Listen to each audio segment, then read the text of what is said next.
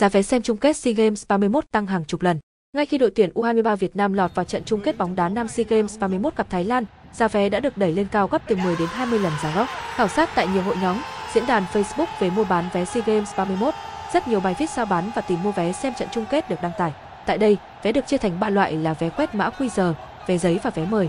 Giá trị cao nhất sẽ thuộc về loại vé mời ngồi tại khu vực khán đài A và B, được giao bán lên tới 12 đến 15 triệu đồng một cặp, gấp 15 lần giá gốc, 500.000 đồng một vé.